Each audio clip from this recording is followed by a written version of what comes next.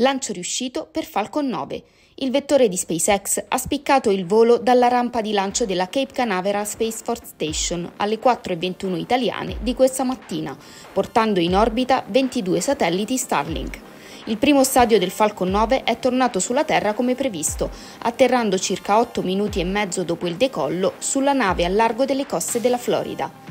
Il booster utilizzato per questo lancio è al suo settimo utilizzo, mentre il record di riutilizzo di SpaceX è di 16 voli. SpaceX aveva pianificato un secondo lancio per questa mattina, il cui payload era composto da 13 satelliti per la US Space Force.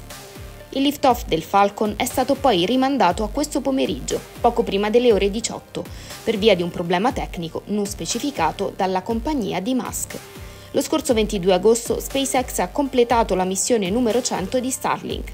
Il lancio era inizialmente programmato per il 18 agosto, ma ha subito uno slittamento a causa del passaggio dell'uragano Hillary.